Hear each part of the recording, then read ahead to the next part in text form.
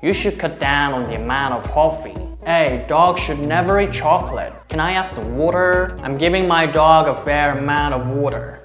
Hey guys, Korean Billy here. Joe Biden was born and raised in Scranton, Pennsylvania. So even though he spent lots of time in Delaware, he's got a bit of Pennsylvania accent. So today in this video, let's talk about Pennsylvania accent. There are a few features which distinguish the Pennsylvania accent from other accents. The first one is ow sound. You can notice Joe Biden sometimes says a man instead of a mount. Fair amount of fish. So in the Pennsylvania accent, ow sound changes into ah sound. So instead of down, people say like dan, and town changes into tan, and the combined word downtown changes into downtown. Also, the word amount changes into a man. Then let's take a look at an example sentence. You should cut down on the amount of coffee. You should cut down on the amount of coffee. You should cut down on the amount of coffee. You should cut down on the amount of coffee. You should cut down on the amount of coffee. You should cut down on the amount of coffee. In the example sentence, you might have noticed that the word coffee is also a bit different, right?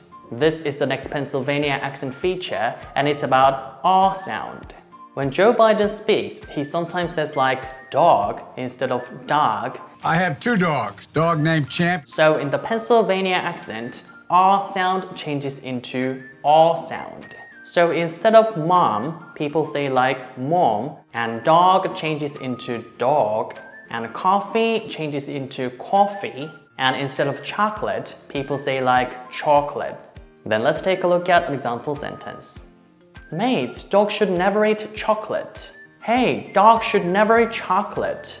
Hey, dog should never eat chocolate. Mates, dog should never eat chocolate. Hey, dog should never eat chocolate. Hey, dog should never eat chocolate. And last but not the least, in the Pennsylvania accent, the pronunciation of water is very distinctive. Well, Joe Biden doesn't say like this, but people in Pennsylvania sometimes say like water instead of water. So in Pennsylvania, a glass of water is sometimes like a glass of water, or Pennsylvanians sometimes say like, can I have some water? And let's take a look at an example sentence. I'm giving my dog a fair amount of water. I'm giving my dog a fair amount of water.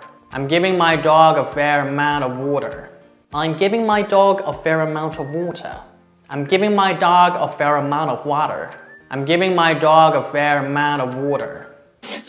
And now you know what the Pennsylvania accent is like. Well, my Pennsylvania accent is not perfect, but I hope this video helps you understand what Pennsylvanians talk about. And if you like this video, don't forget to press thumbs up, sub to my channel, turn on the notification bell, and leave a comment. Thanks for watching, and I'll see you guys next time. Bye!